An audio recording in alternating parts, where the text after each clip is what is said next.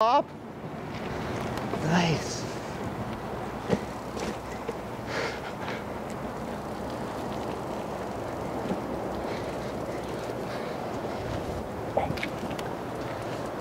All right, Matt and Jody here for Tech Tip Thursday, and today we are going to talk about how we've been adapting um, during this uncertain time with our e-bikes.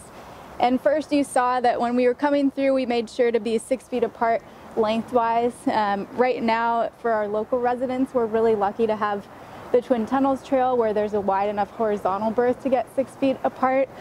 Um, and really, that's kind of the safety measure while you're riding.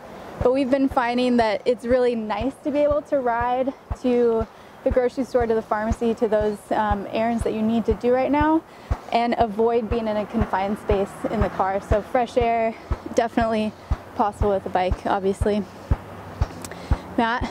Yeah, I think it's great. It's time to ride uh, if you can. We've got, you know, somewhat a little more open roads and it's, it's you know, a safe way and a fun way to get around and get your exercise into and help you stay healthy.